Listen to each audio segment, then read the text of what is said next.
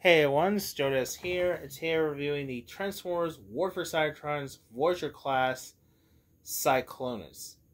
Now, Cyclonus, he is a, I think it's at Series 2, I think might be Series 2, I'm correct. Now, this figure came out the Hasbro 2021. Now, he is a the warrior of the Decepticons. Now, for most of you are not familiar with this character, he has never appeared in the War for Cybertron TV series. Now, he has first appeared as Transformers the movie along with Galvatron and scores everyone else. Now, if you know who the Cyclonus is, he is a former of the Decepticon of, spoiler, which is Skywarp and Bombshells, who got badly damaged after the Autobot City, who are the site who throw away in the dumb space thanks to Starscream, who throw away from the Astrotrain goes into a deep space, eventually picked up by a Unicron, who will later become with DNA and became Cyclonus.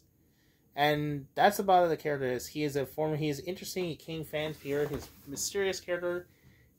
So, in that case. So, anyway, that's about it. So, let's take a look at figure itself, Cyclonus. Now, the figure itself, Cyclonus, he is based on a fighter jet, future Cybertron jet. He looks very accurate from the movie counterparts like his jet. Now the weapons, now he comes with taking the one. It's got little peg holes. It comes with a blaster. Nice little silverish plastic, just a plastic. It's got a little hole in this. I think now a good job looks detailed looks. As for the vehicle itself, it looks pretty nice. Look at detail. It's really like it's purple. Now in the movie or the show, it's believed that was purple, size purple, violet, blue. I can't remember this. I guess look it up. I think it looks color details. Like this, I do really like has has a cockpit is kind of looks like orange. I thought it was just a red, like in the movie was those cones. Nice little detail. And down the bottom, there's no robot jumps. It has little landing gears. Now, unfortunately, there's no wheels. Pretty unfortunately you push a gear looks like that. Make look like it's playing this. Now the transform to cyclonus is pretty simple. First to do let's unpeg his uh, first do let's open the cockpit. Now see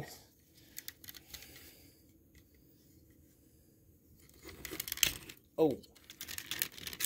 First let's unpeg his will connect just that and oh first unconnect.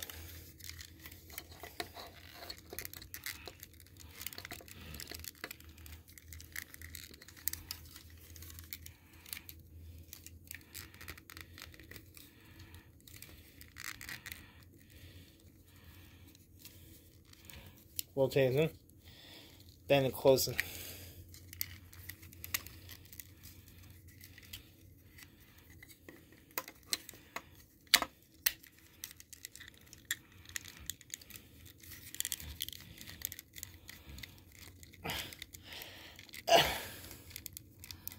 get a little tight. Now next to do, let's open his little cones.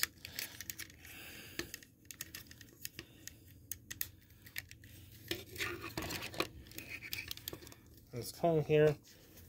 Now let's start opening his Oh Oh, oh crap.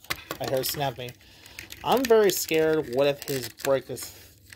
No, oh, oh yeah, I forgot. Yeah, first he rotates rotate his neck. And then just open his back. Kind of a little hard to see. Well, you don't see it. And start to rotate his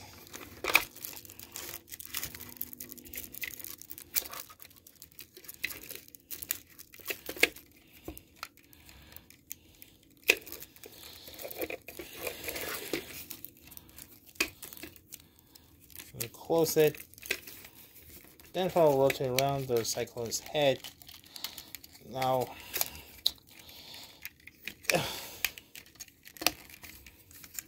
oops, I went the wrong side. Like his head. This is gonna really pain.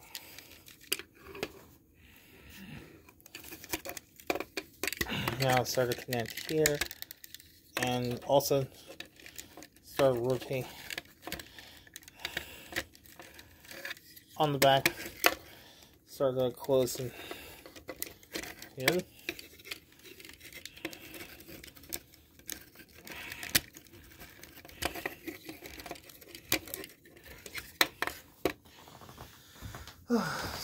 I'm stretching out. Now let's do this rotate. Start rotating wrist. Do exactly the same.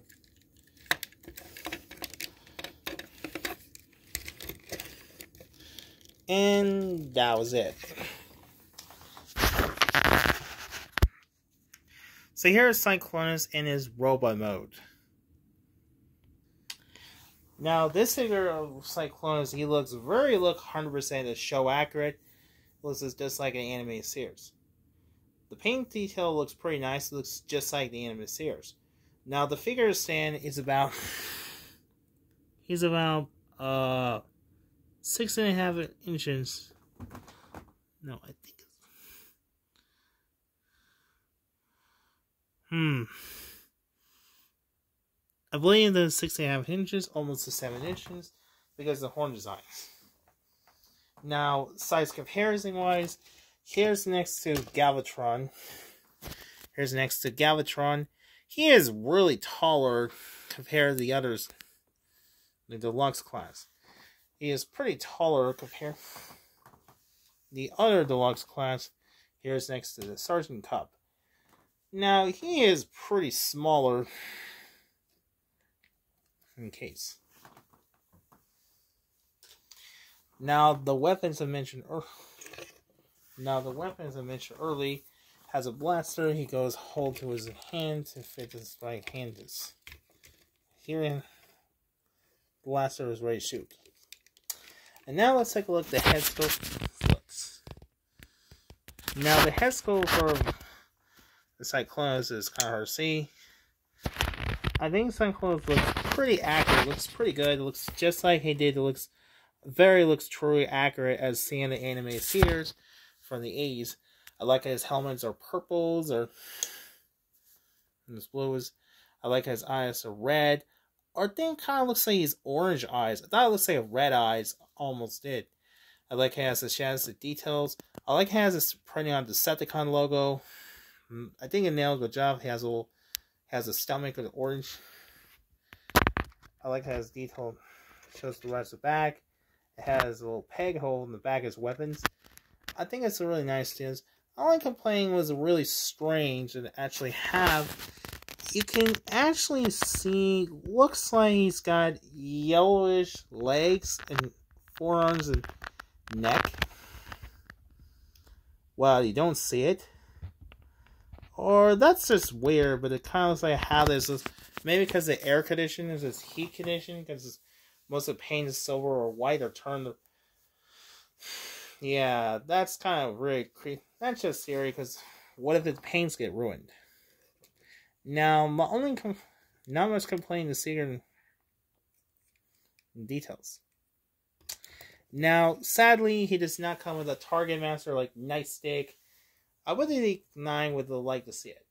Now there is a variant for Cyclonus. Now there is a there is a variant for Cyclonus. There is Generation Select of Cyclonus. That looks like same old, except the stickers are based on the vintage figure from the 1986. So yeah, I guess it looks pretty much looks cool one.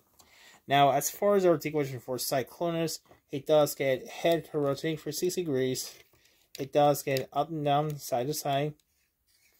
His arms goes up and down, goes in and out that much. He has a bicep swivel, then the elbow. Does get rotate, the wrist can rotate. Has wrist can kind of rotate wrist. Is, has wrist rotate, kind of a little tight. It does have swivel waist, looks nice. Its leg is forwards and back, goes in and out that much. It has a nice tool, then it the knee. It also weird double knee because it's transformation. And finally is ankle side to side. Ankle side to side. So that's about our articulation for Cyclonus. So there's my review of the Transformers Kingdom class War- Voyager class Cyclonus. Overall, it's actually pretty decent figure. Looks pretty accurate. I really like his detail. I really like it a head skull. I like this as a weapon, a detail. The vehicle model is kind of fun. It was looks more accurate. But I kind of really wish we had more detail on the. Hmm. I mean, you're a fan of the the Transformers Generation One or the Galvatron's Henchman or the Galvatron's henchmen, or you want to buy the Cyclones, make an army building of the Warriors. I think it's a high recommend to check them out this. So I hope you enjoy this one. Be sure don't forget to like, share, and subscribe for reviews. For more, I uh, hoping so thanks for watching. Be sure don't forget to like and share and subscribe.